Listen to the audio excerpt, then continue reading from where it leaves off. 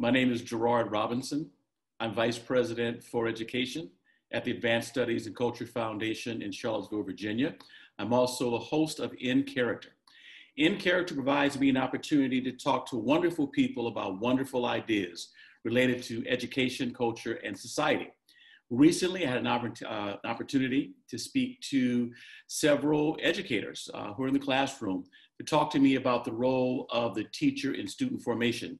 And tonight, I have one of those teachers. And since we're one on one, I'd like to introduce Kristen and let her tell you a little bit about herself. Welcome. Hi, thanks so much for having me back again. Uh, my name's Kristen Record. I am a high school physics teacher. I will be beginning my 21st year teaching at Bunnell High School in Stratford, Connecticut, and I'm the 2011 Connecticut Teacher of the Year. So physics, the subject that everyone loves. We just oh, all obviously exactly, of course. So you come from a family of educators, so that's something unique. A family who's interested in science.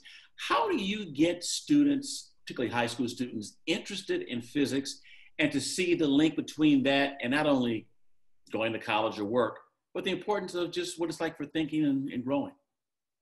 Well, for me, um, what I love about teaching science and physics in particular is the hook that it's everywhere around us. Yeah. And so um, I love being able to show kids everyday events or to show them like a neat little like experiment or something and then have them try to figure out why does it work that way or why doesn't it work that way or to ask them a very simple question like you know we've all seen a pot of boiling water what's inside the bubbles that's of the boiling water and kids get stumped and they don't know the right answer to what they think are very simple questions and then i have them hooked into understanding the wanting to know the whys and the hows of how the world works. And that's really what I love about teaching physics because it's so hands on. And I, I, have this thing um, in my school where, you know, kids usually take other science classes before you get to physics. Um, mm-hmm. shouldn't, shouldn't be that way, but it is. So I always tell them, I said, look, you tell me something else that you've learned in some other science class, and I'm going to show you how you'd really understand it better if you understood physics. And that's so true about everything in the world around us that um, I kind of tease the parents when I have them in for open house or, or um, parent conferences. I'm saying I'm really kind of indoctrinating your kids into thinking about the world the way I see it, like a scientist and like a physicist, and to be able to explain why things happen the way that they do. And I know that it works because I just got an email from a kid a couple of days ago about something that they watched on TV. And they said, Miss Record, all I could see in it was the physics, and I couldn't get the physics out of my head. So for me, um, it's just the love of the natural world. And I think inherent in that um, because I mean, let's be real, it, physics really isn't everybody's favorite topic. Um, a lot of people are scared of it, you know, scared to come into a physics class and think it's hard. So um, that excitement of wanting to be there and being curious is very important. And I think being curious is part of being a lifelong learner and the ability to talk with kids about persevering through mm-hmm. struggling and that not everyone gets things the first time and that learning is a lifelong process. And you know like how i'm a physics teacher now and they all run to me for help with their calculus but i struggled with calculus the first time i took it when i was in high school. But to a 17 year old kid they're like oh my god like you struggled with, with it of course i did but you know like you stick with things. And so there's a lot of um, personal skill building that um, goes hand in hand for me in my teaching uh, right along with the content you talked about parents, uh, and let's say we're in front of 50 parents right now. How do you convince us that we should be excited about getting our kid or our, our student into your class, particularly when maybe we didn't do well in physics, or as you said, we're scared of physics? How do you get us excited about it as parents?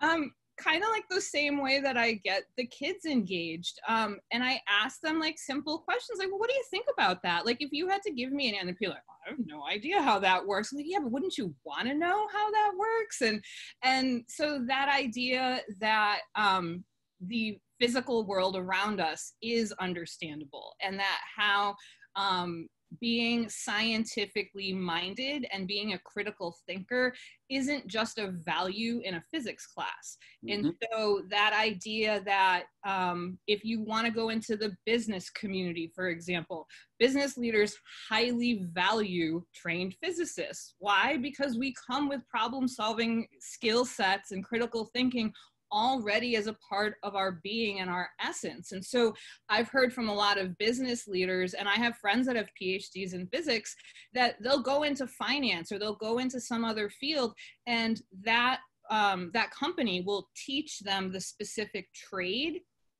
but they say it's your inherent skill set that's more valuable. I can teach you the specifics of my company or the job, but it's your mindset and your skill set that's valuable. So the the processes and the thinking and the mindset that go along with being a good science student mm-hmm. serve you well in so many other facets of life. So that's one of the selling points to parents that I make. Like, this is not just about learning content, it's about learning lifelong skills and perseverance that your child is going to need wherever they go after my class. Absolutely superintendents and principals tell me the hardest position for them to fill is the physics teacher position. And you've probably heard this before. When you and your fellow uh, physicists get together for local, state, national meetings, what are your conversations about? yeah, how do we get more people to do what we do? It's certainly one of those conversations. This is before or after drinks. Yeah, well, sometimes it's the drinks that lead to those conversations because we're like, wow, if we leave, there's no one left to take our spot. Mm-hmm. you know, and and that's a serious thing. Um, I think that one of the things that we talk a lot about is just this idea of, um, particularly for physics, that people think it's only for the best and the brightest. Right. That's really not true. Um, in my school, I teach physics to everyone. So if you are, you know, if you're an AP student, obviously I teach AP physics. If you're, you know, honors level, college prep, level two, there is a physics class for you. And I think that we do people a disservice when we think of um, certain topics in science as a hierarchy that only physics is available for the special people. Right. Uh, and that's something that I fight against all the time. Um, I want everyone in my class because I, again, like I, I feel so strongly that um, understanding the world around you is important, but also the skills that you learn in a physics class are really important. So the idea of breaking down that barrier and making physics seem accessible to more people is something that's really important to a lot of physics teachers. You earlier mentioned a student who said, you know what, I just couldn't get physics out of my head watching TV.